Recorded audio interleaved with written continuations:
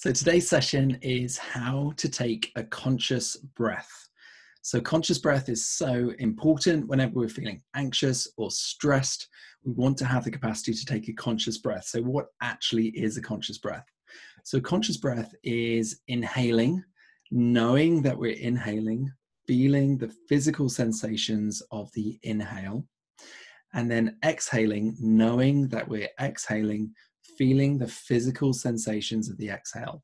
Now, the benefit of doing a conscious breath or a series of, say, three conscious breaths is that brings the mind and the body into the same present moment. And that is so important because it gives our bodies the capacity to initiate the parasympathetic nervous system, which immediately can start to calm us and send us into soothing mode rather than sending us into the parasympathetic nervous system, uh, which is where we can find ourselves triggering the fight or flight response. Uh, so if you find yourself triggered today at work or at home, um, try a conscious breath and let me know how you get on.